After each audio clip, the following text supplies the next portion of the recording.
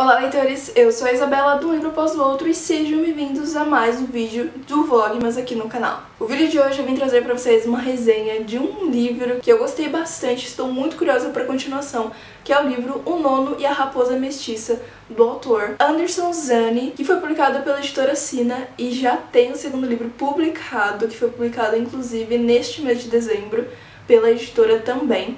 E eu estou muito, muito curiosa para ler esse segundo volume. Nesse livro aqui nós vamos conhecer uma cidade chamada Júbilo. É uma cidade meio mágica ali, onde tem os seus moradores que são guardiões e também outros seres que são mágicos.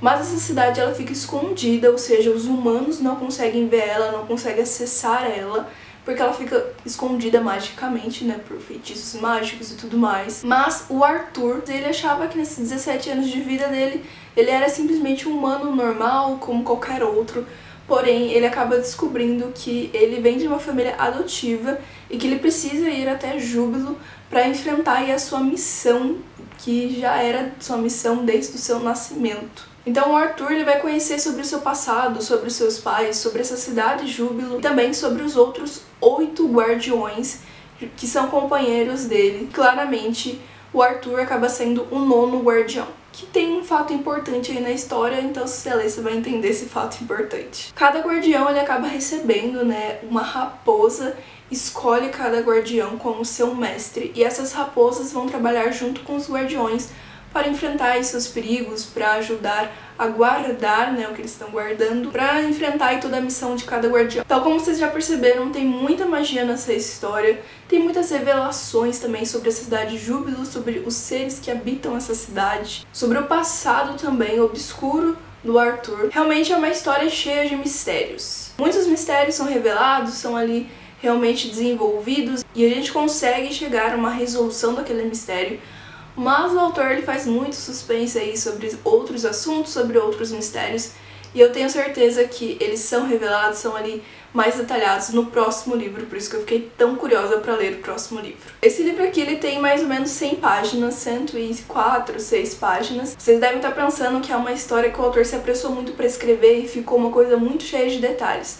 Mas não, eu gostei bastante como o autor ele foi desenvolvendo toda a história, foi nos apresentando ao passado do Arthur ao longo do tempo, ao longo de cenas, porque claramente o garoto não ia aguentar saber de toda a história em apenas um dia.